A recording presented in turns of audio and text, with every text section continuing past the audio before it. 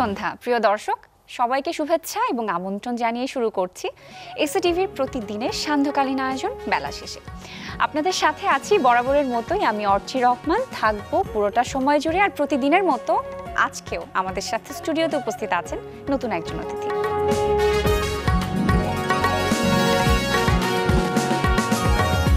প্রিয় দর্শক, আজ আমাদের সাথে স্টুডিওতে উপস্থিত আছেন কোরিওগ্রাফার এবং নৃত্যশিল্পী মিজান লেমন চলে যাচ্ছি তার কাছে।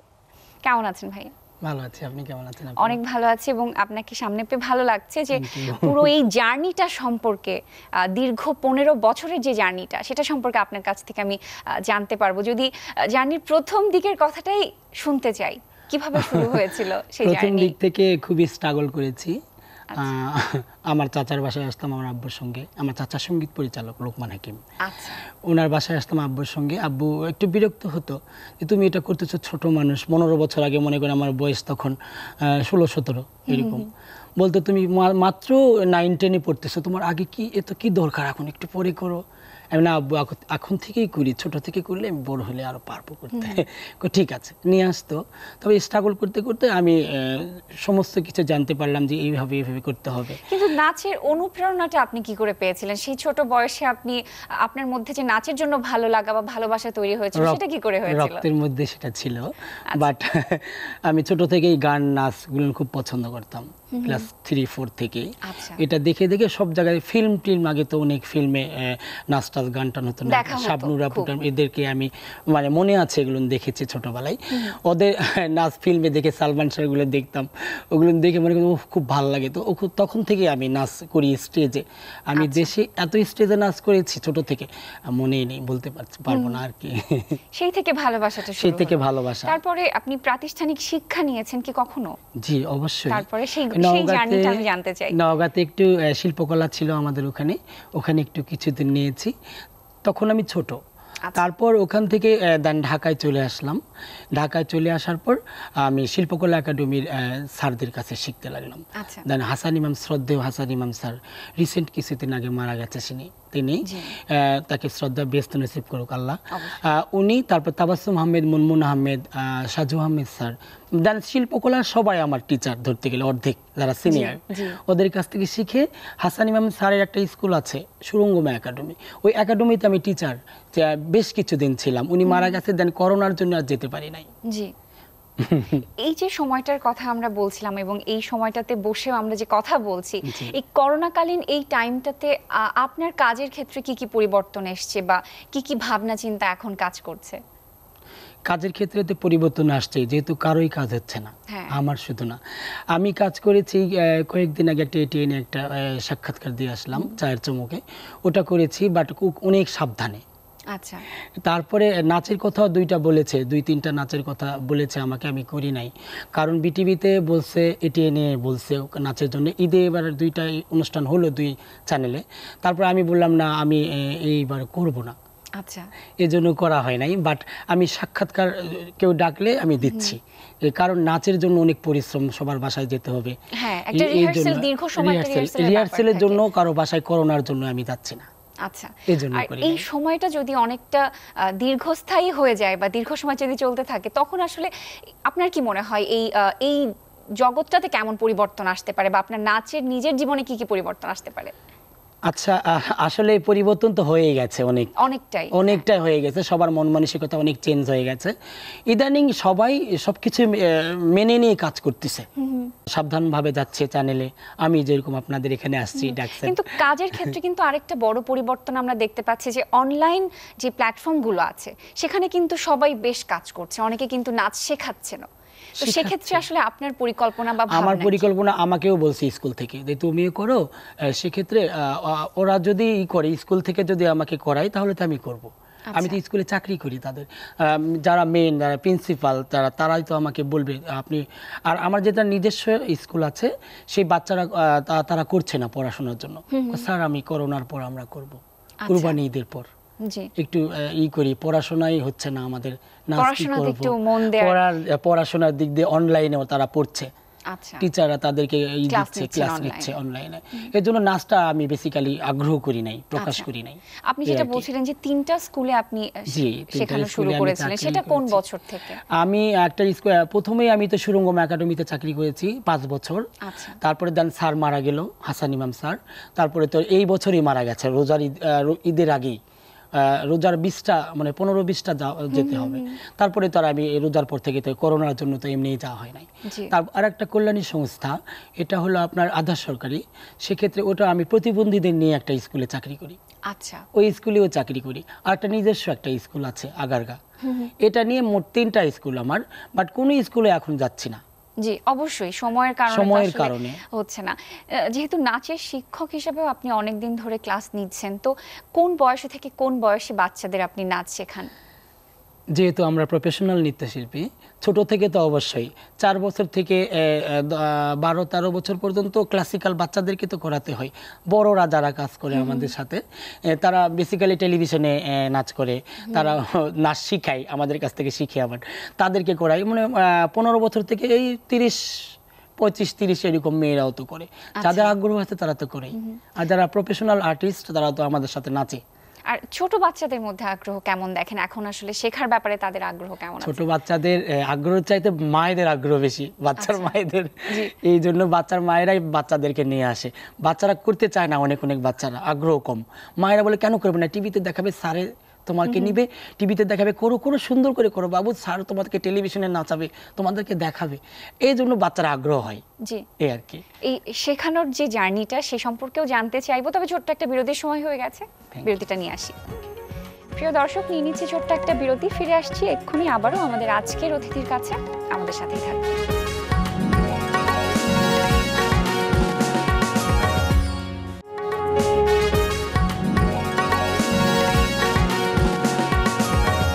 বিরতির পর আবারও ফিরে এলাম বেলা শেষের আজকের আয়োজনে। আপনাদের সাথে আছি আমি অর্চি রহমান এবং আমাদের সাথে স্টুডিওতে উপস্থিত আছেন কোরিওগ্রাফার, নৃত্যশিল্পী মিজান লেমন। চলে যাচ্ছি আবারও তার কাছে। নাচ শেখার গল্প শুনছিলাম এবং শেখানোর গল্প শুনছিলাম। সেক্ষেত্রে আপনি বলছিলেন যে একটা প্রতিবন্ধীদের স্কুলে আপনি কাজ করছেন বেশ অনেকটা সময় ধরে। সেক্ষেত্রে আসলে কাজ করাটা কতটা চ্যালেঞ্জিং আপনার জন্য এবং কি ভাবনা কাজ করেছিল সেই সময়? শুরুতে আমি খুব খারাপ মনে করেছিলাম যে প্রতিবন্ধীর বাচ্চার স্কুলে আমি চাকরি করব। আমি করতে চেয়েছিলাম না। আচ্ছা। তারপর অনেক পরিচিত টিচার আছে। কোথায় না লেমন তুমি তো ভালো একজন টিচার তুমি নাম করে একজন শিল্পী তুমি করলে বাচ্চারা আগ্রহ করবে। আচ্ছা। তারা হয়তো অনেক সময় সিনসিয়ার ভাবে কাজও করবে তুমি করো। ম্যাডাম বলছে তুমি করো। আমাকে বলছে। পরিচয়ের পর থেকে কিন্তু তাদের শেখানোর ক্ষেত্রে কি আপনি কোনো প্রতিবন্ধকতার সম্মুখীন হয়েছেন বা কোনো প্রবলেম ফেস না খুবই ভালো লাগে। মানে এর মধ্যে কিন্তু স্বাভাবিক বাচ্চারাও আছে। শুধু আচ্ছা। প্রতিবন্ধী না ওখানে একটা প্রতিবন্ধী থাকলে ওখানে দশটা নর্মাল বাচ্চা থাকে। নর্মাল বাচ্চাদেরকে বুঝাই দিলে ওই প্রতিবন্ধীরা ওর দেখে দেখে পিছনে আবার করে।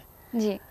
এই যে একটা সচেতনতা তৈরি করা যে স্পেশাল যে চাইল্ডগুলো আছে হ্যাঁ। আসলে সেটা তো আমরা তাদেরকে বলবোই যে স্পেশাল চাইল্ড তাদের ক্ষেত্রে আসলে বাবা মাদের শেখানোর যে আগ্রহ বা বাবা মার যে ভূমিকাটা পরিবারের যে ভূমিকাটা সেটা আসলে কতটুকু আপনি দেখেন? অনেক অনেক আগ্রহ বাচ্চাদেরই আগ্রহ নর্মাল বাচ্চাদের চেয়ে স্পেশাল বাচ্চাদের আগ্রহ বেশি দৌড়ে আসে স্যার স্যার স্যার সালাম করে মিজান স্যার লেমন স্যার আসসালামু আলাইকুম আসসালামু আলাইকুম। এত ভালো লাগে। আপনি যখন শেখাচ্ছেন যে কোনো বাচ্চাকে যখন আপনি আপনি আপনার শিক্ষাকে ছড়িয়ে দিতে চাচ্ছেন তাদের মাঝে তখন আপনি কোন কোন বিষয়গুলো আসলে লক্ষ্য রাখেন? লক্ষ্য রাখি যে আমার নাচটা যেন মানে পারফেক্টভাবে বাচ্চাদেরকে বুঝাই দেই। তারপর বাচ্চারা যেন সুন্দর মতোকে বোঝে প্রতিবন্ধী বাচ্চারা তো বোঝে না অনেক সময়।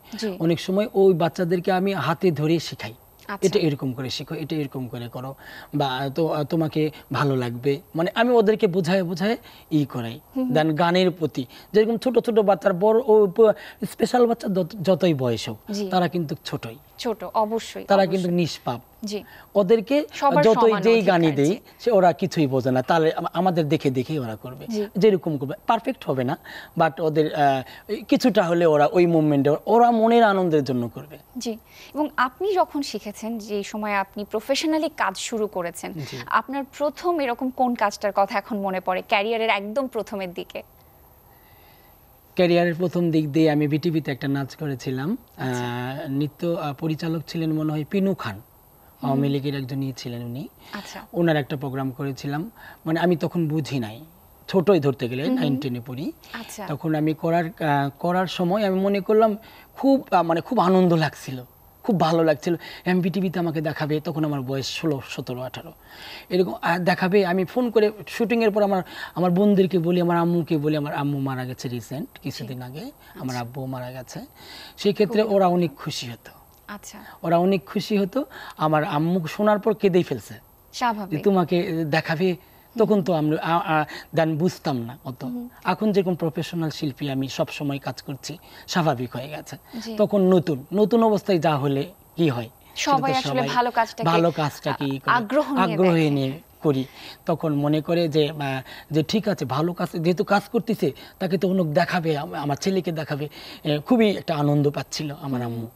যেহেতু আপনি বলছেন যে আপনার মায়ের অনেক সাপোর্ট আপনার জীবনে আছে বাবা মার অনেক সাপোর্ট আর আমার আমি যখন নাচ গান করি ভালো কাজ করি আমার বড় আপার ছেলে খুবই ভালোবাসে। খুবই ইমোশনাল একটা জায়গা আসলে এটা কাজ করে এটা বোঝা যায়। আমি আসলে যে বিষয়টা জানতে চাচ্ছিলাম যে আমাদের সমাজে এখনও আহ, যে একটা নেগেটিভ দিক যদি নেগেটিভ ভাবে যদি একটু দেখে যে একটা ছেলে হয়ে কেন অন্য প্রফেশনে যাচ্ছে না নৃত্যশিল্পী হিসেবে নিজেকে প্রতিষ্ঠা করতে যাচ্ছে এটা কি আসলে এখনও পরিবর্তন হয়েছে আমাদের সমাজের প্রেক্ষাপটে? আপনার কি মনে হয়? জি অবশ্যই পরিবর্তন হয়েছে। পরিবর্তন না হলে তো কেউ করতো না। আচ্ছা। আর এই জায়গাতে সবাই কাজ করতেও পারে না। অনেক সাধনা লাগে অনেক সাপোর্ট লাগে অনেক অ্যাম্বিশন করতে হয়। এই অ্যাম্বিশনটুকু সবাই করতে পারে না। যেহেতু আমি করেছি আমি নিজেই বুঝছি। আমি জানতে চাচ্ছিলাম যে আপনি কি কে স্ট্রাগলের মধ্য দিয়ে গেছেন? যখন আপনি কাজ শুরু করেছিলেন তখনও কি নেগেটিভ চোখে দেখা হয়েছে বা আপনার পরিবার থেকে সেই নেগেটিভ ব্যাপারটা কাজ করেছে কিনা? আমার পরিবারের সবাই সাপোর্ট ছিল। যেহেতু ও করবে করুক। তুমি নামাজ পড়ো আমার আব্বু বলতো তোমার প্রফেশনাল তুমি করো কিন্তু আমাদের যেন দোষ না হয়। আচ্ছা। বলতো মানে আমি যেন পাপের ভাগি না হয় এটা আমার আব্বু এটা বলতো। আমি আব্বুটি কি বলো ছোটবেলা? আম্মু বলে থাক ও করে করুক। আমি তো প্রচুর নাচ করছি নওগাঁতে আমাদের বাড়ি নওগাঁ। আমি ছোট থেকে স্ট্রাগল করে আসছি সেটা প্রথম থেকেই বলছি আপনাকে। তারপর আহ, আমি যেই পরিস্থিতিতে আসছি আশেপাশে যারা তারা তো হয়তো বলতেই পারে কিন্তু আমার পরিবার তো তারা পরিবার থেকে কখনো আসলে বলেনি সেই সাপোর্টটা সাপোর্টটা আমার আমার ভাই বোনদের অনেক সাপোর্ট ছিল। আর আমার বড় আপার ছেলে রিসেন্ট আমাদের সাতকারী সমবয়সী ওরা আমাকে খুব সাপোর্ট করেছে এখনও দেন ওরা আমাকে খুবই মায়া করে। কোথায় আসছি কোথায় গেছি আজকে এখানে আসছি সেটাও বলে আসছি। সাগর আমি এখানে যাচ্ছি। কো যাও মামা ভালো করে করে এসো।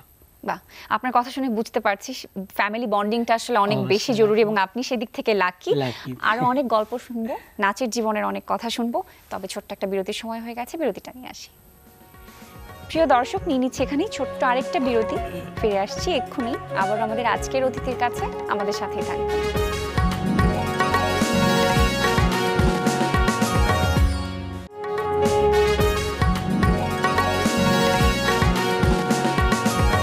দর্শক বিরতির পর আবারও ফিরে এলাম বেলা শেষের আজকের আয়োজনে। আপনাদের সাথে আছি আমি অর্চি রহমান এবং আমাদের সাথে স্টুডিওতে উপস্থিত আছেন কোরিওগ্রাফার এবং নৃত্যশিল্পী মিজান লেমন। চলে যাচ্ছে আবারও তার কাছে। যে বিষয়টা নিয়ে এবার জানতে চাচ্ছি যে দীর্ঘ পনেরো বছর আপনি এই ইন্ডাস্ট্রিতে কাজ করছেন অনেক অনেক অভিজ্ঞতা হয়েছে। সেক্ষেত্রে চলচ্চিত্রের আসলে অভিজ্ঞতাটা আপনার কেমন ছিল এবং কাজ করার সুযোগ হয়েছে কিনা এখন? কাজ করার সুযোগ হয়েছে। ছোটবেলা থেকে ফিল্মকে আমি এত ভালোবাসতাম। তারপর ফিল্মের মাধ্যমেই মানে আমি সবাইকে চিনছি। আচ্ছা। যেটা সত্যি কথা। ফিল্মের সবাই আমাকে চিনে। মানে ছোট থেকে আসছি গেছি দেখছি। বাট পরে আমি দেখলাম যে ফিল্মের নায়ক অথবা নায়িকা এই দুই ছাড়া কারও একটু প্রাধান্য কম। সেক্ষেত্রে আমি আর করি নাই। কোরিওগ্রাফার হয়েছি একটা না দুইটা ছবিতে করেছি বাট হাসির হাসিবুল ইসলাম মিজান পরিচালক।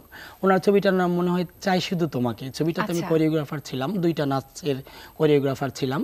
আর দুইটা নাচে আমি খুব সুন্দর করে করেছি আমার স্টুডেন্ট দিয়ে করেছি সেগুলো। কোনো ফিল্মের স্টুডেন্ট সেটা কি রোমান্টিক গানে ছিল না? রোমান্টিক গানে। আচ্ছা। রোমান্টিক গানে নায়িকা ছিল নায়ক ছিল বাট আমি কোরিওগ্রাফার ছিলাম। কে কে ছিল? ছিল মনে শাহনুর আপু। তখন তো আমি ছোটই ছিলাম ধরতে গেলে। ধরতে গেলে এটা ছয় সাত বছর আগের আচ্ছা, সেটা প্রথম কাজ ছিল প্রথম কাজ। ছিল চলচ্চিত্রে আর শাহনুর আপু ছিল সাথে আর দুইটা নতুন নায়ক ছিল আর আমার সব গ্রুপের ছেলে মেয়েরা ছিল সাতটা মেয়ে সাতটা ছেলে চোদ্দ জন ছিল সব আমারই ওটা অ্যারেঞ্জ করা। আচ্ছা। আমাকেই কোরিওগ্রাফার নিয়েছিল উনি। উনি তো মারা গেছে রিসেন্ট কিছুদিন আগে। হাসিবুল ইসলাম মিজান উনি আমাকে ছোট ভাইয়ের মতো দেখতো। চলচ্চিত্রের ক্ষেত্রে আসলে কাজের অভিজ্ঞতাটা অন্যরকম থাকে। তখন কি দীর্ঘ সময় কি রিহার্সেল হয় নাকি অন। দ্য স্পটে অনেক সময় কাজ হয়ে যায়? স্পটেই করেছি কোনো রিহার্সেল করি নাই। আচ্ছা। সেক্ষেত্রে নায়ক নায়িকাকে কি প্র্যাকটিস করতে হয় না বা তুলতে হয়। একটা শট বারবার নিতে হয়। আচ্ছা। শর্ট নিয়ে আমাকে দেখে মানে কোরিওগ্রাফার দেখে দেয় যেহেতু আমি আমার মতন অনেক কোরিওগ্রাফার তো থাক আছে। তারা এরকম দেখে দেয় আমি দেন এভাবেই দেখে দিয়েছি। একটা গানের হাফ করেছি সারা রাত লেগেছে পরের দিন আবার করেছি এরকম। আচ্ছা আশা করছি খুব শীঘ্রই আমরা হয়তো কাজটা সামনে দেখতে হ্যাঁ, পাবো। সেই প্রত্যাশা থাকছে। আর যেহেতু কাজের অভিজ্ঞতার অনেক অনেক সেক্টরে কাজ হয়েছে কাজের অভিজ্ঞতা হয়েছে তো মিউজিক ভিডিওতে কাজ করার অভিজ্ঞতা হয়েছে গত বছর যেটা আমরা পেয়েছি। সেই অভিজ্ঞতাটা কেমন ছিল? মিউজিক ভিডিও টেল ফিল্ম জি, টেল ফিল্ম। এটা হলো আমি খুব মজার কথা এটা পুবাইল ছিল। আমার ওটা খুব ভালো লাগছে। সারা রাতি ওটা শুটিং করেছি। আচ্ছা। ছিল রিয়াজ ভাই। রিয়াজ ভাই দান রিয়াজ ভাইয়ের ওয়াইফ তো নৃত্যশিল্পী আপু তিনা আপু ও তারপর রিয়াজ ভাই তো আমাকে চিনে আমাকে দেখে খুব খুশি লেমন তুমি আমি ভাইয়া কেমন আছেন ভালো তুমি কোরিওগ্রাফার লাইক লাইক নাচ ছাড়া রাত করার এত ভালো লাগছে লাগার পর বলছে যে তুমি খুব ভালো করেছ আমার কোনো টেনশন নাই। তুমি যেহেতু আসছো। কতজনকে নিয়ে কাজ করেছ এটা এসএটিভিতে একটা নায়িকা ছিল ওই নাই ওই নায়িকাটা ছিল কি জানো নাম আমার মনে নেই। ওই মেয়েটা ছিল আর রিয়াজ ভাই ছিল নায়ক নায়িকা আর আচ্ছা। ওনারা ডুয়েট একটা ই ছিল। দুইজনা মানে কাপল ছিল দুইজন। আচ্ছা। দুইজন আহ, দুইজনকে আমি করিয়েছি।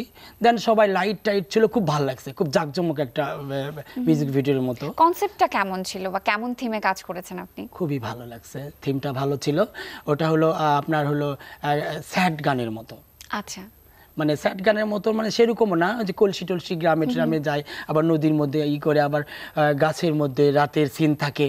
কোন ধরনের কাজগুলো আপনার কাছে বেশি চ্যালেঞ্জিং লাগে? একটা রোমান্টিক গানে কোরিওগ্রাফ করা না একটা স্যাড সঙ্গে কোরিওগ্রাফ করা? না ধুমধারাকা একটা সঙ্গে কোরিওগ্রাফ করা? কঠিন বেশি কোনটা? কঠিন স্যাড গানেই করা। আচ্ছা। স্যাড গানে কীভাবে মানে কান্নার সিনটা করবেন কীভাবে দাঁড়াবেন কীভাবে ইমোশনটা আসবে নায়ক নায়িকার প্রতি কিংবা বাবা মার প্রতি ইমোশন স্যাড গান তো অনেক কে নিয়ে হয়। বা কেমন লুক হচ্ছে সেটাতে কি একজন ডান্সারের ভূমিকা থাকে বা তার ওপিনিয়নটা দেয়া হয় দেয়া হয় অবশ্যই দেয়া হয় আচ্ছা। ডান্সারদের কোরিওগ্রাফার ভালো না হলে তো ই লাগবে না দেখতে ভালো না। একটা যেটা। এইটা লাগবে এই ক্ষেত্রে এখন আমি মডার্ন ডান্স খুব ব্যাপার না এটা খুব সহজ ধরতে গেলে সবাই আমরা হ্যাঁ। নৃত্যশিল্পী হিসাবে হ্যাঁ। সবচেয়ে কঠিন লাগে আমাদের নৃত্যশিল্পী না হলে ভালো ডান্স করা যায় না আমরা যেহেতু পাঁচ বছর দশ বছর শিখে আমরা দান টিচার হয়েছি। সেই ক্ষেত্রে আমরা এখন পানির মতো মনে হয় অভিজ্ঞতাটা আসলে কাজে লাগাতে আছে। পেরেছেন। হ্যাঁ। এবং যেহেতু কাজের কথাই বলছিলাম এই বছরের প্রথম দিকেই আরেকটা কাজ হয়েছিল যেটা দেশের বাহিরে ছিল। একটা ট্যুরে গিয়েছিলেন ব্যাংককে ছিল। হ্যাঁ, কেমন ছিল সেই অভিজ্ঞতা? খুবই ভালো ছিল। ওই ব্যাংককে ফার্স্ট ফেস্টিভ্যাল ছিল আচ্ছা। ইন্টারন্যাশনাল ফেস্টিভ্যাল ছিল ও দশ দিনের জন্য। কারা আয়োজন করেছিল? এটা শিল্পকলা থেকে আয়োজন আচ্ছা। করেছিল। আমার সাথে আমার টিমে তিনজন গিয়েছিল। তারপর আরও ছাব্বিশ জন মোট আমরা ছাব্বিশ জন গিয়েছিলাম। আপনার টিমেরই 26 জন? হ্যাঁ ছাব্বিশ জন আমরা টিমে গিয়েছিলাম আচ্ছা। আমার টিমে তারপর ওখান থেকে আমরা দশ দিন ট্যুর করে দেন প্রোগ্রাম প্রোগ্রাম করে চলে আসছি। এসে আমাদের স্মৃতিগুলো মনে হয় এখন। জি। ওখানে কোন কোন ডান্স ফর্ম নিয়ে কাজ করেছেন? ওখানে আমরা ফোক ডান্সগুলোই করেছি বাংলাদেশের যেগুলো গানগুলো। আমরা বাংলাদেশি যেহেতু ছাব্বিশটা ইয়ার আসছিল দেশ। আমাদের বাংলাদেশের গানের বাংলাদেশের গানগুলো করেছি।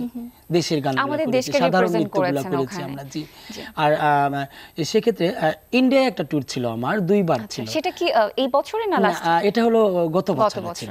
মানে বছরের শেষে গত বছর। আচ্ছা, আচ্ছা। মাঝামাঝি পরপর দুইবার করেছি দেশের বাইরে। এটা ইন্ডিয়ার আহ, কলকাতা কলকাতার মধ্যে করেছি দিল্লিতে করেছি। এটা আমার সাথে সঙ্গে ছিল লারা লোটাস আচ্ছা। বেসিক্যালি লারা লোটাস এ আমার সাথে নাচে জুটি হিসাবে। সব চ্যানেলে চ্যানেল আই এটিএন নাট্য অভিনেত্রী লারা লোটাস ও তো নৃত্যশিল্পীও পরিচিত মানুষ আপনাদের কাছে। দেশের বাহিরে আসলে আপনার টিমটা নিয়ে কাজ করতে গিয়ে কি কোনো প্রতিবন্ধকতার সম্মুখীন হতে হয়েছে বা কোনো প্রবলেম যেটা দেশে ফেস করেননি কিন্তু দেশের বাহিরে যে ফেস করেছে? অবশ্যই হয়েছে। সমস্যা তো অবশ্যই থাকে। সব মানে সবকিছু মিলিয়ে তো মানুষের কাজ। সেক্ষেত্রে ওখানে গিয়ে টাইমিংটা মিলে নাই অনেক সময়। আচ্ছা। ঘুম হয় নাই। সেই ক্ষেত্রে তারপর যার সঙ্গে আমাদের সঙ্গে যারা আমার টিমে গেছে তাদেরকে নিয়ে একটু প্রবলেম হয়েছে স্বাভাবিক এটা। সেটা তো আর বলতে পারছি না। তাদেরকে নিয়ে একটু প্রবলেম হয়েছে তারা অনেক সময় সেটে আসতেছে না স্টেজে আসতেছে না মেকআপ দেওয়া হচ্ছে না। আমাকে তখন ম্যানেজমেন্টে একটু প্রবলেম ছিল। এবং টাইম ম্যানেজমেন্টে সবকিছু মিলে একটু আমাদের আসলে প্রফেশনাল হওয়াটা খুবই জরুরি। ভাইয়া অনেক অনেক ধন্যবাদ জানাচ্ছি আজকের আয়োজনে আসবার জন্য। এবং দর্শকদের উদ্দেশ্যে যদি কিছু বলার থাকে আপনার। শুধু দর্শক মণ্ডলী আমার জন্য সবাই দোয়া করবেন আমি যেন ভালো করে কাজ করতে পারি। আর এসিটিভিকে আমি ধন্যবাদ জানাচ্ছি যে আমাকে এখানে আনার জন্য। অনেক ধন্যবাদ ভাইয়া। থ্যাংক ইউ আপু। প্রিয় দর্শক আজকের মতো এখানেই শেষ করছি। বেলা শেষের আয়োজন আবারও দেখা হবে নতুন আরেকটি দিনের শেষে নতুন আরেকটি আয়োজনে নতুন আরেকজন অতিথিকে সাথে নিয়ে। সে পর্যন্ত আপনারা সবাই ভালো থাকবেন সুন্দর থাকবেন এবং অবশ্যই সুস্থ থাকবেন। স্বাস্থ্যবিধি মেনে চলার চেষ্টা করবেন আর এসিটিভির পর্দায় চোখ রাখবেন।